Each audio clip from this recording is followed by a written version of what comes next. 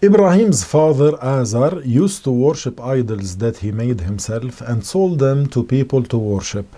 Prophet Abraham urged him to worship only God and to accept the religion of truth, Islam. He did that with great wisdom, used gentle words and the best arguments to show him that worshipping idols is no good. But out of pride, Azar did not accept his advice and ignored his call. He even threatened to stone him and kill him. Ibrahim alayhi then told him, I will ask Allah to erase your disbelief by bringing you into Islam. Later, when Ibrahim knew by revelation that his father would not convert and die on disbelief, he stopped trying to convince him.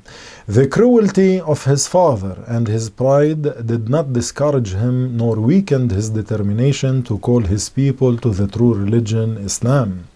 Ibrahim confronted the sun, moon, and stars worshippers and wanted to show them that worshipping these things is not valid and that they do not deserve to be worshipped, being themselves created. Indeed, the stars, the moon, and the sun change from one state to another, sometimes visible and sometimes invisible. So they need someone who makes them change, and the sound mind confirms that the one who needs someone else is imperfect, and the imperfect is weak, and the weak does not deserve to be worshipped.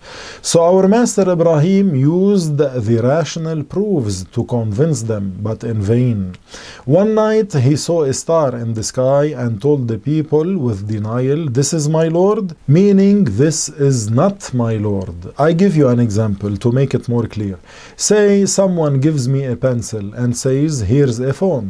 I reply with denial, This is a phone. My reply in this way is a clear rejection to his claim. It is an assertion that what he said is false. It is a clear refusal to recognize or acknowledge that the pencil is a phone. By the same token, what Ibrahim said to the people with denial, هذا ربي, this is my Lord, is a clear rejection to their claim. It is an assertion that what they believe is false. It's a clear refusal to recognize or acknowledge that the star is his Lord. This is the correct explanation of Ibrahim's word. Unfortunately, some people misunderstood this verse and committed a serious mistake, claiming that Prophet Ibrahim would have attested that the star was God. This is false without any doubt and totally incorrect. These people who misinterpreted the saying of Ibrahim did not even understand the foundations and the basics of the religion.